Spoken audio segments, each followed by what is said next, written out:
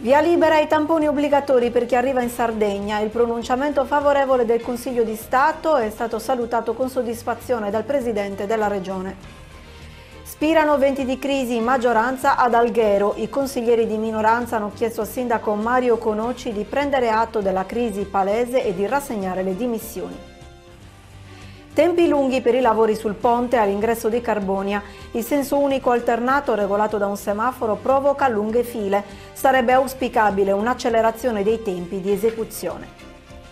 Unicredit sostiene l'associazione Casa Emaus di Iglesias. L'istituto di credito ha concesso un finanziamento ad impatto sociale per 150.000 euro con garanzia FCG al 90% nell'ambito del decreto liquidità del governo. Ben ritrovati su Canale 40, oggi giovedì 11 marzo 2021 il Consiglio di Stato ha dato il via libera ai tamponi obbligatori per chi arriva in Sardegna. Il Presidente della Regione ha espresso grande soddisfazione per il risultato raggiunto. Sentiamo Giampaolo Cirronis. Il diritto alla salute dei sardi deve essere tutelato con ogni mezzo e la Regione ha agito in questa direzione, sempre nel rispetto delle leggi, fin dai primi giorni della diffusione del virus.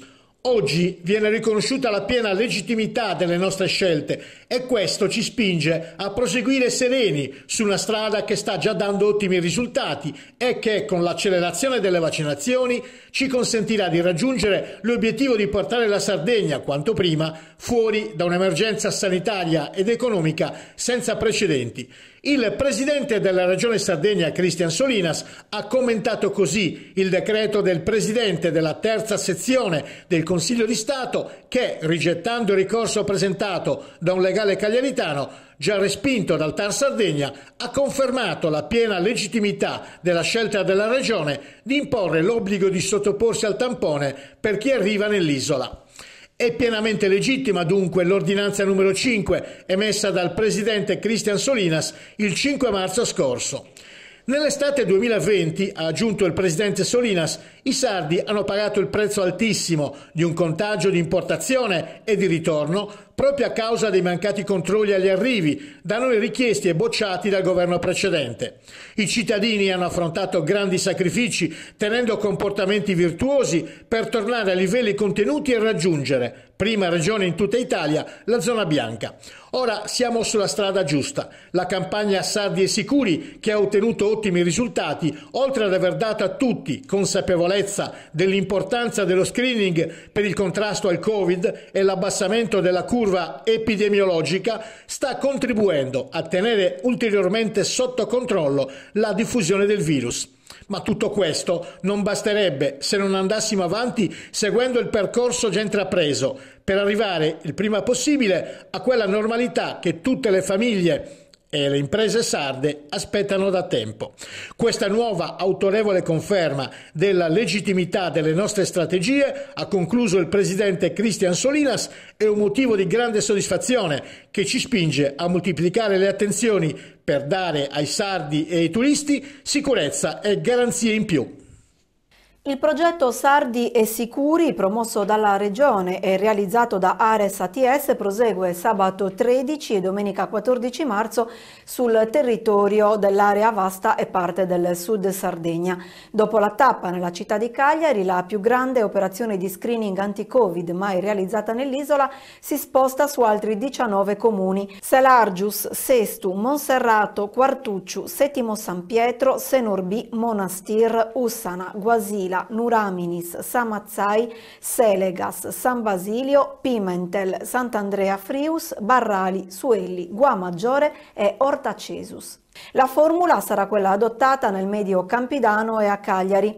A condurre lo screening saranno circa 700 operatori tra medici, infermieri e tecnici informatici, a cui si aggiungono numerosi volontari che opereranno in 29 sedi attrezzate per un totale di 74 postazioni per l'esecuzione dei tamponi antigenici rinofaringei.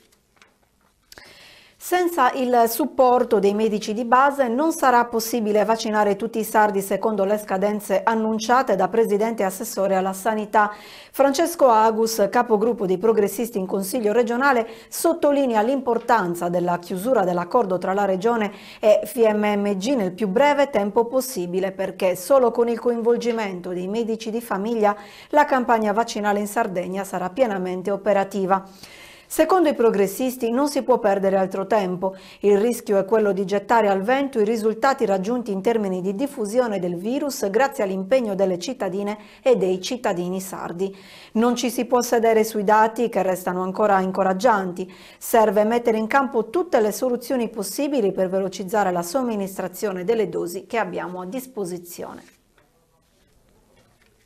Andiamo avanti. I presidenti delle associazioni ASNET APS, Prometeo ITF ODV ed Elisa Deiana ODV ed il segretario regionale del comitato ANED Sardegna Bruno Denotti, Giuseppe Ergiolas, Alberto Deiana ed Annibale Zucca hanno inviato una lettera all'assessorato regionale della sanità e all'ATS nella quale chiedono un incontro per valutare l'attuabilità delle loro richieste relative alla vaccinazione anti-SARS-CoV-2 Covid-19 dei trapiantati di organo solido, delle persone in attesa di trapianto e dei dializzati.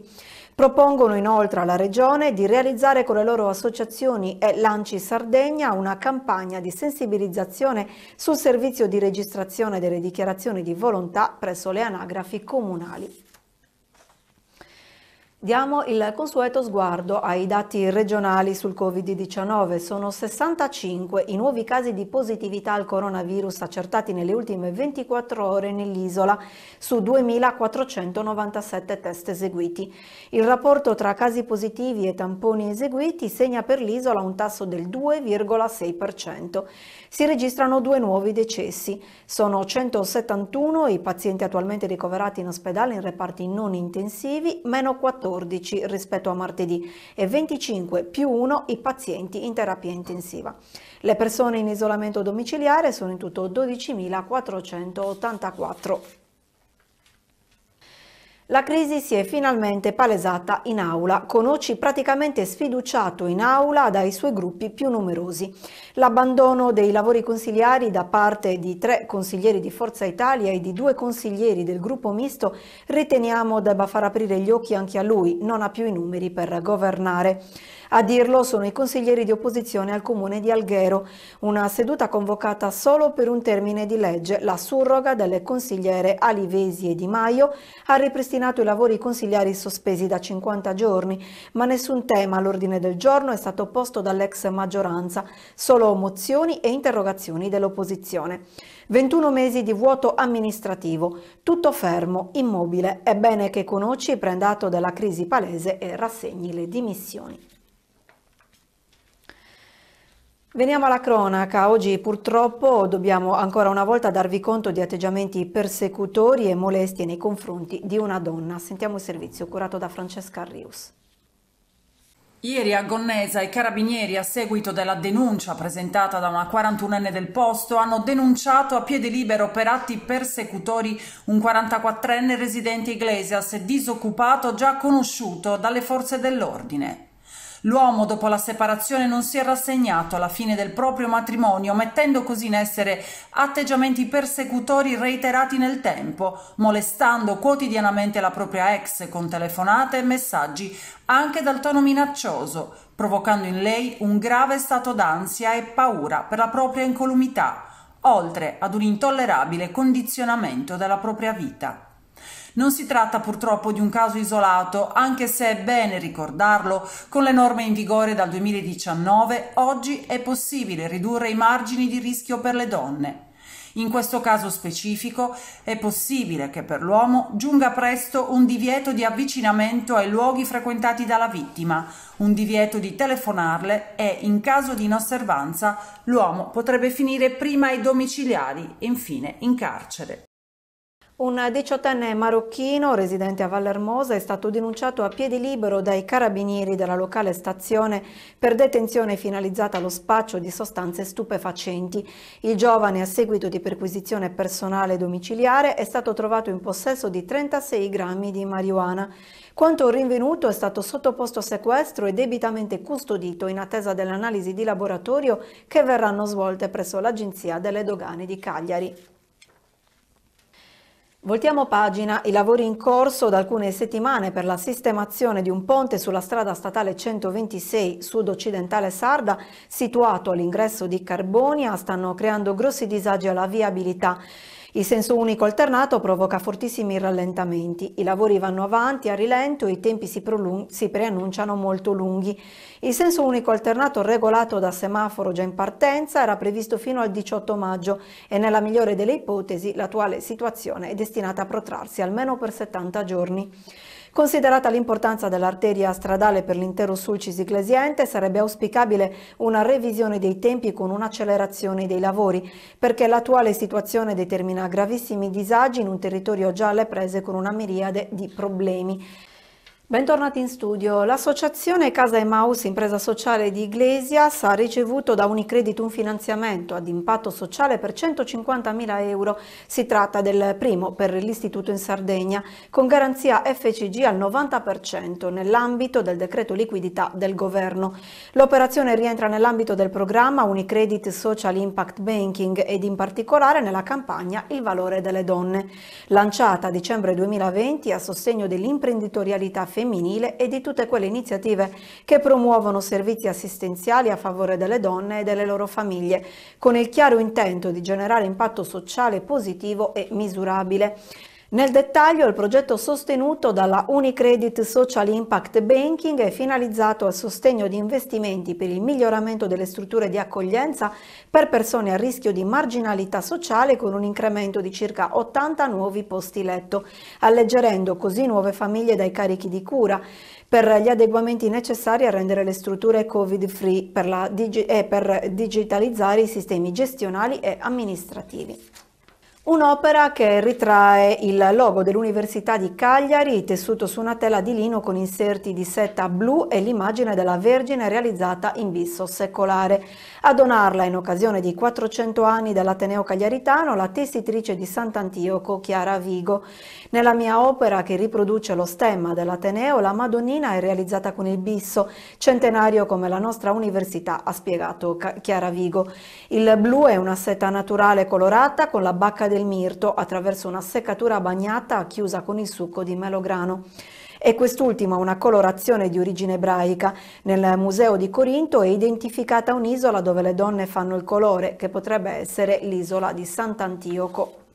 Andiamo avanti. Grande soddisfazione per l'acquisizione da parte del Parco Geominerario della collezione mineralogica Manunta, ma non tutti i minerali troveranno posto nel Museo del Minerario ad Iglesias. I, propositi del presidente Tarcisio Agus e del Consiglio direttivo del Parco nel servizio di Carlo Martinelli.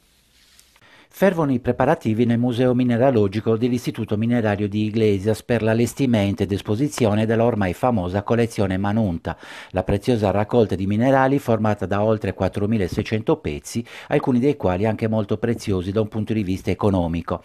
Il via libera è arrivato venerdì scorso con la delibera del Consiglio direttivo del Parco Geominerario Storico e Ambientale della Sardegna sulla base della relazione tecnico-scientifica di congruità e la certificazione di tutela del Ministero dei Beni beni culturali per la sua acquisizione al patrimonio del parco al costo di 573.000 euro.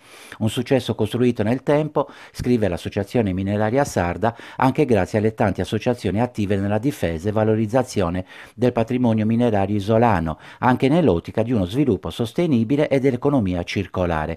Ma non tutti i pezzi troveranno posto nelle esposizioni del Museo Nazionale di Mineralogia Iglesiente per ovvie ragioni di spazio. Questo aspetto aspetto ha fatto preoccupare gli appassionati della materia. Per questo abbiamo chiesto al presidente del Parco Geominerario, Tarcisio Agus, di spiegare quali azioni si intende intraprendere per migliorare la valorizzazione e fruizione della preziosa collezione di minerali, straordinaria testimonianza della cultura mineraria sarda. Eh, questi 4.600 erotti pezzi diciamo che è un una, una grande quantità di, di pezzi diciamo, di minerali particolarmente interessanti e molti hanno un grande valore anche di natura economica oltre che di bellezza.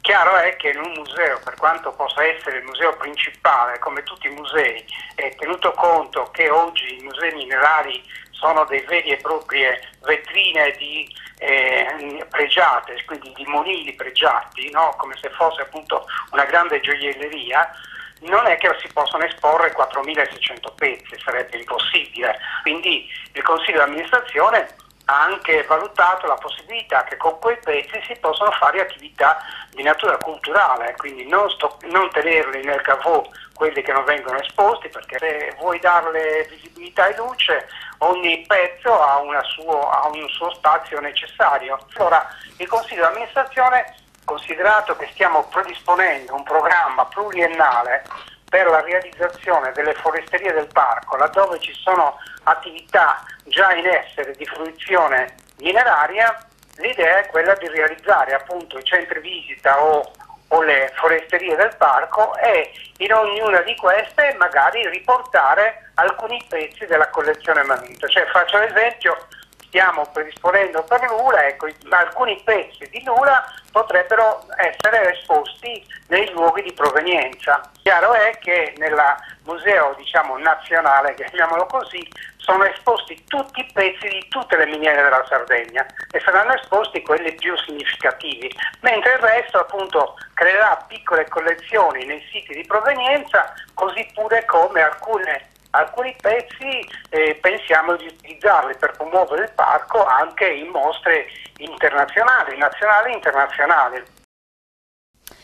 I vigili del fuoco sotto la supervisione della Capitaneria hanno svolto un'attività di addestramento congiunto tra gli operatori e la squadra sommozzatori del distaccamento di Alghero presso il porto. L'obiettivo è quello di migliorare la collaborazione sempre più solida in virtù della convenzione stipulata a livello nazionale tra Guardia Costiera e Vigili del Fuoco tesa ad offrire un sempre miglior servizio al cittadino dato anche l'avvicinarsi della stagione estiva. Si è testata attrezzatura di nuova assegnazione per l'estinzione di incendi che possono interessare imbarcazioni e natanti. Il nucleo sommozzatori ha garantito la sicurezza delle operazioni svolte in acqua, mentre gli operatori dei vigili del fuoco si sono intervallati nelle azioni di spegnimento provando le varie gittate delle lance schiuma impegnate nella simulazione e nel contempo si è testato e migliorato la sinergia tra le due componenti dei vigili del fuoco. Durante l'addestramento è stato impiegato e testato un nuovo e particolare agente schiumogeno di tipo biodegradabile. Ci spostiamo ad Oristano, al via ai lavori di manutenzione straordinaria delle strade bianche. Vediamo insieme il servizio. Via libera ad Oristano ai lavori di manutenzione straordinaria delle strade bianche. La giunta comunale guidata dal sindaco Andrea Luzzu ha avviato così il progetto da 125.000 euro che sarà realizzato dall'impresa Coeba di Oristano che ha offerto un ribasso del 33,33% sul prezzo a base d'asta di 9.000 euro. Le forti piogge dei mesi scorsi hanno messo a dura prova la percorribilità delle strade bianche della città delle frazioni, hanno dichiarato il primo cittadino e l'assessore dei lavori pubblici Francesco Pinna.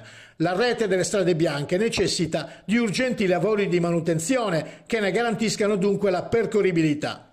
L'intervento ha l'obiettivo di migliorare la viabilità con un basso impatto ambientale, migliorandone la percorribilità a favore dei residenti e degli imprenditori agricoli delle aziende interessate, riducendo notevolmente i tempi di percorrenza e migliorando i trasferimenti.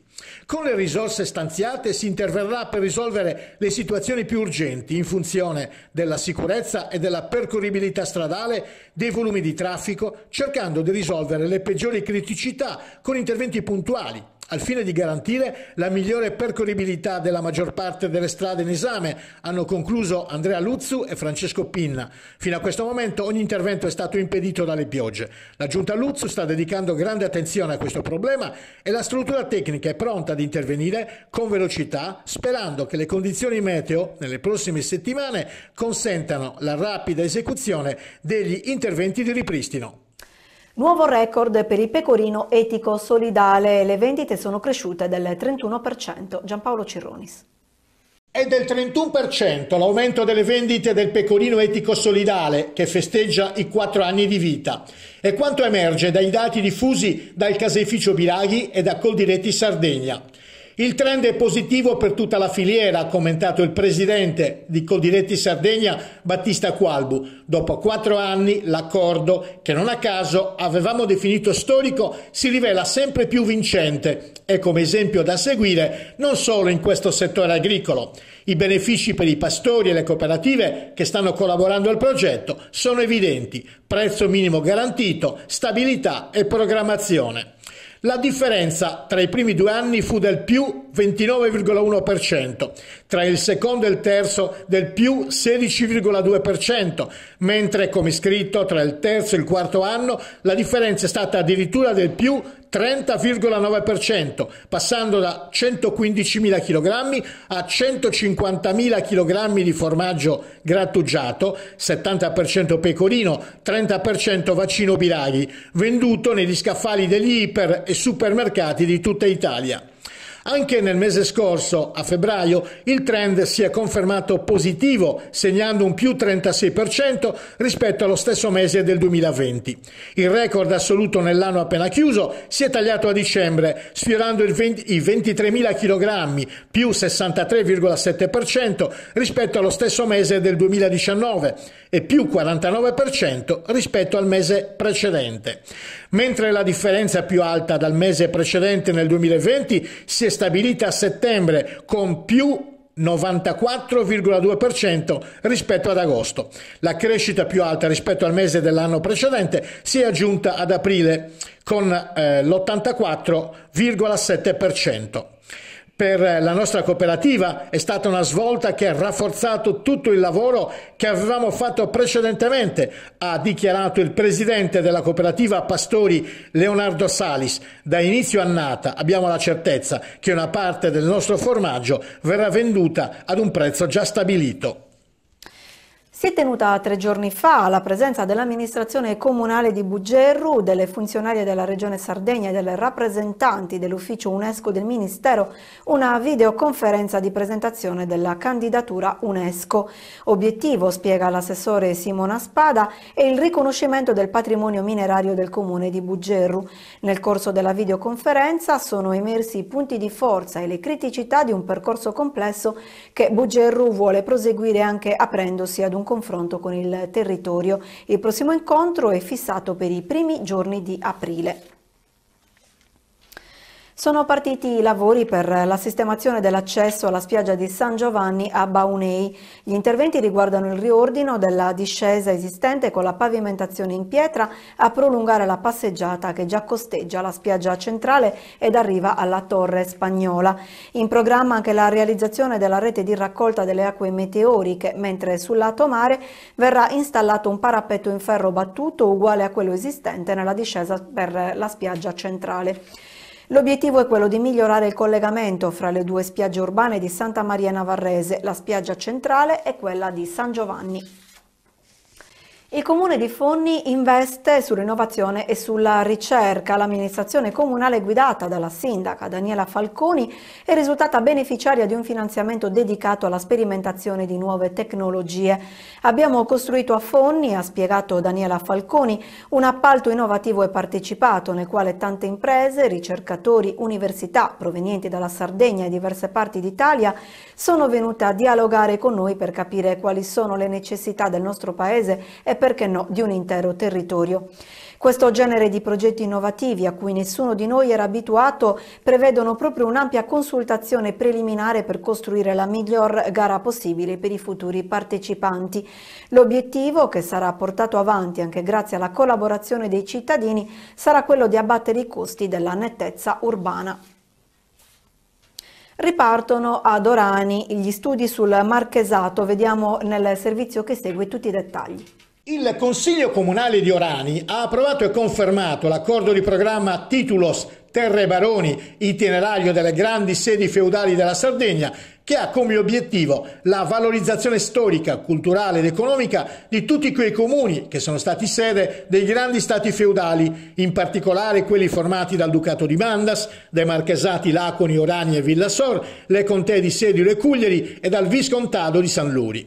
Un primo accordo era stato sottoscritto esattamente il 9 marzo 2001 dai sindaci dei comuni di Mandas, Villasor, Laconi, Orani, Cuglieri, Sedilo e San Luri. Ma il sindaco Antonio Fadda non si vuole fermare qui. Inoltre è intenzione dell'amministrazione riprendere gli studi storici sul marchesato di Orani sottolineano dal Comune. Sono state avviate interlocuzioni con l'università e con studiosi che in passato hanno studiato la storia del marchesato di Orani, con l'obiettivo di analizzare la documentazione storica e di avviare un percorso di approfondimento scientifico che permetta di produrre pubblicazioni e contenuti che raccontino la storia del marchesato da tramandare alle future generazioni.